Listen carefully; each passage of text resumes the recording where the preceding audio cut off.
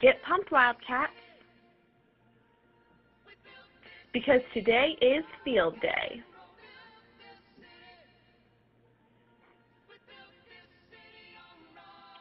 After being dismissed from CAPS, students will sit on the bleachers with their graduating class for a brief opening ceremony. Then students will be dismissed by class to either roam the field day booths, get food, or opt to stay in the bleachers and watch on-field relays and contests. Upperclassmen will be dismissed toward the concession stand. Underclassmen will be dismissed towards the scoreboard.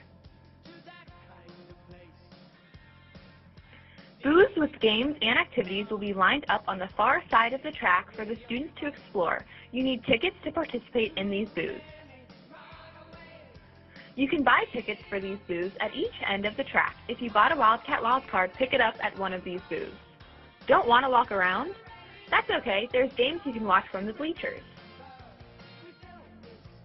Please remember to be respectful of the rules if you choose to remain in the bleachers. Haven't eaten since Pride period? Never fear, Chick-fil-A and water will be sold at the concession stand. Help us keep the field clean by throwing all trash away. Gotta go?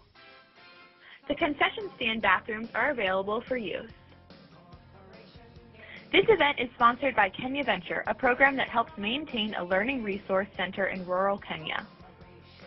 The Learning Resource Center, a wonderful place to learn.